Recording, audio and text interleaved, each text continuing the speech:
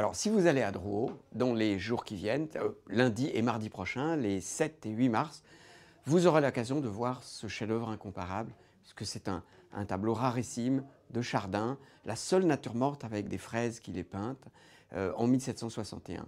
C'est un, tableau qui était euh, révélé en 1979, puisqu'il faisait la couverture du catalogue de l'exposition, la première grande exposition sur Chardin, une vraie découverte euh, pour le public euh, à l'époque. Alors tout le monde pense que ce tableau appartient à un grand musée, mais pas du tout. Il était dans une collection privée et il est dans cette collection privée depuis 1840 ou 1850. Il est resté 150 ans dans la même famille, ce qui explique l'état de conservation extraordinaire du tableau qui n'est pas passé de main en main la propriétaire du tableau et sa maman, déjà dans les années 1980, euh, a prêté son tableau à toutes les demandes des musées de France. Chaque fois que la direction des musées de France lui a demandé de prêter son tableau, elle l'a prêté. Et le tableau été demandé par tous les musées du monde. Le musée de Tokyo, le musée de, Boston, euh, le musée de, de Madrid et le Grand Palais, où nous avons tous découvert ce tableau en 1979. Il était même la couverture de l'exposition. Et quand ce tableau est parti euh, au Japon, la propriétaire m'a dit qu'elle était invitée par, euh, par, le gouvernement japonais, euh, par le musée de Tokyo, à venir voir son tableau. Son tableau couvrait les autobus de la ville. Donc c'est le tableau que les Japonais, qui sont si exigeants sur les compositions, ont sélectionné pour illustrer l'exposition. Chardin est un artiste qui épure sa peinture. Il commence par faire euh, des grands buffets avec une accumulation d'objets d'orfèvrerie, un chien, un chat.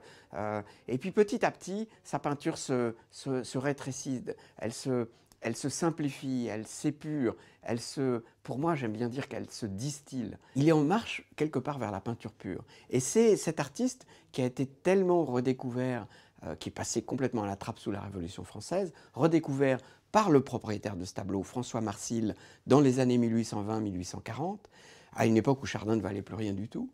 Il en achète 30, dont ce tableau, qui était le, clou de sa collection, si on peut dire. Et euh, l'artiste va avoir un impact énorme sur les impressionnistes et sur la peinture du XXe siècle. Des artistes comme, euh, comme Picasso, comme Cézanne, se réclameront de Chardin. Pourquoi? Parce que vous voyez une petite touche de, de...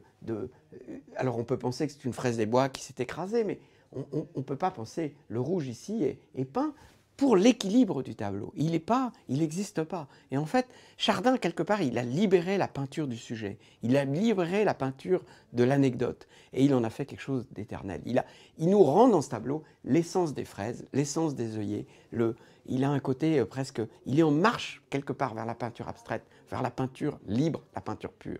Le tableau est estimé entre 12 et 15 millions euh, d'euros. Euh, c'est l'estimation la plus élevée euh, jamais donnée à un tableau de Chardin, mais je crois aussi que c'est probablement la plus belle nature morte de cet artiste. Donc le tableau sera exposé à Drouot les lundis 7 et mardi 8 mars, de 11h à 18h, comme toujours à Drouot, et il sera vendu chez Arcurial le 23 mars au rond-point des Champs-Élysées à 14h30.